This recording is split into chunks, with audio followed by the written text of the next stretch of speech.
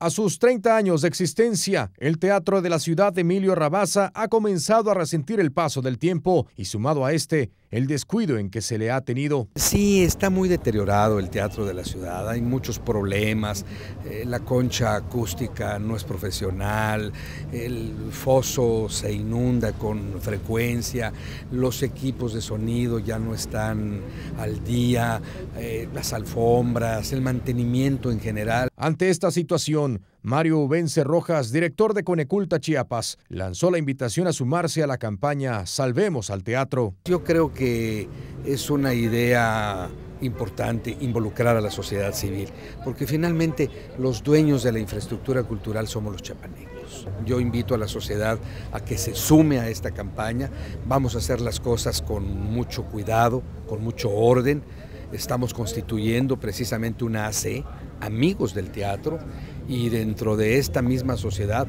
un órgano de vigilancia para que haya una transparencia absoluta. Dignificar al Teatro Emilio Rabaza, construido en 1982 con el esfuerzo del pueblo y gobierno de esa época, no es tarea fácil. Se necesitan más de 10 millones de pesos, pero yo creo que hay que irlo haciendo por etapas, vamos a priorizar qué es lo más urgente, lo más importante y vamos a empezar a atacar el problema. Es un gran reto, pero bien vale la pena sumar esfuerzos y lograr ascender al mejor nivel nacional y restituirle a Chiapas y a la capital uno de los espacios más representativos y útiles para la difusión de las culturas. Con imágenes de Alfredo Gómez, Adelín Pérez Padilla, 10 Noticias.